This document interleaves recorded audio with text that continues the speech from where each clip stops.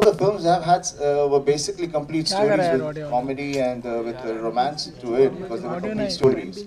Uh, but obviously, definitely in those films, the character was such where the whole thing went out to be where he has to uh, live a life and uh, eventually come to a situation where he has to face up and uh, either he be a man or he gives, gives in and sits back. So those were those kind of films.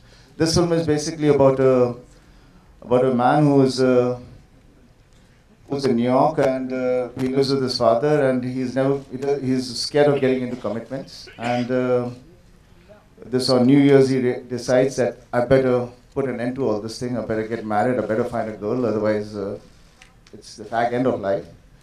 And uh, as destiny is supposed to be, it uh, things just turn around. I think after uh, Manu, uh, people are much more confident about me, and and when they offered this role to me, uh, I was I was very excited because it is totally opposite to what I have already done. I have already tried. Uh, this this is a girl who is uh, who's a who's a uh, not a street smart or clever New Yorker. You know, she's uh, quite opposite to that. So it's been very very good experience. But I hope people like it.